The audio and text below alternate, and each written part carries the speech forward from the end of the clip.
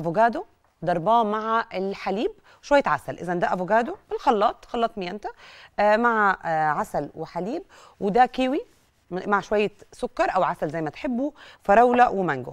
إحنا ممكن نعمل طبقات هنا من العصير ونحط الفراولة ونحط الكيوي. الكيوي بيبقى قوامه زي البودنج كده تقيل. نزله أهو.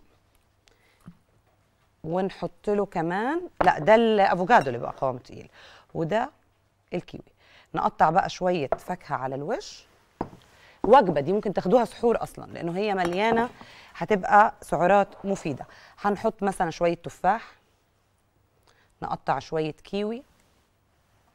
اين السكينة.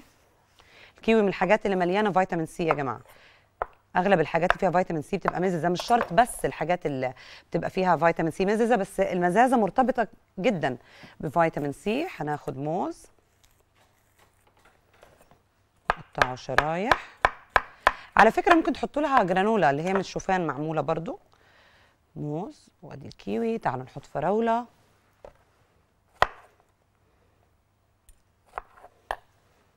أهو. تعالوا نحط عليها القشطة. رمضان بقى وكده معلش ناخد قشطة.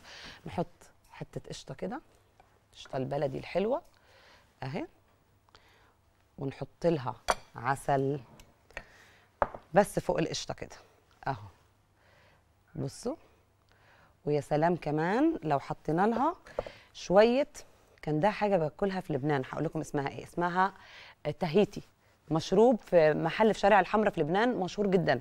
بيبقى كده باللوز المنقوع من اليوم اللي قبله. لوز ني أهو منقوع بالمية نقعوه باليوم اللي قبله. زي اللي بقى مع الخشاف كده. دي كارثة من النكهة الحلوة والسعرات المفيدة. طيب